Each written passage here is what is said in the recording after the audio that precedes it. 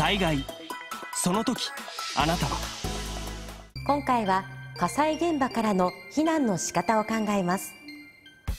前回は初期消火について考えました。しかし住宅火災において炎が天井付近に達すると消火器で消すことは難しくなります。この間約2分30秒素早い判断が必要です。このような状況になったら直ちに避難を始めます避難のポイントは？服装や持ち物にこだわらずできるだけ早く避難します。まず大声で火事を知らせます。煙を吸わないようハンカチやタオルなどで鼻と口を保護して逃げます。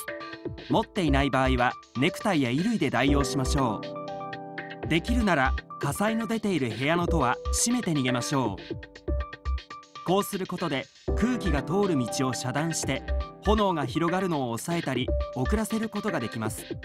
また煙が流れてくるのを抑えることもできます。煙の中を逃げるときはできるだけ姿勢を低くします。短い距離なら息を止め一気に走り抜けます。一度避難したら二度と戻らないようにします。マンションなどからの避難では？エレベーターは使わないでください。停電になったら閉じ込められてしまいますし煙や有毒ガスの通り道になっている可能性があります。煙に巻かれたり地下街の停電時などで避難路がわからなくなったりした場合は誘導灯誘導標識を確認し避難口へ向かいます。視界が悪い時は壁伝いに避難します。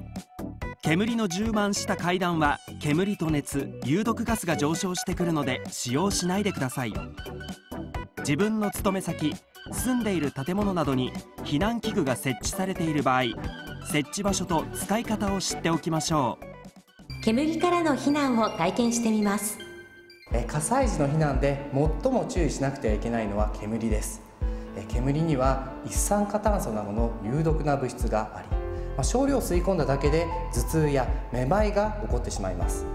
また最悪の場合死に至ることがありますので煙を吸わないように避難する必要があります。まずはハンカチなどで口を覆ってそして腰を低くして避難することが重要です。火災で危険を感じたら素早く避難しましょう。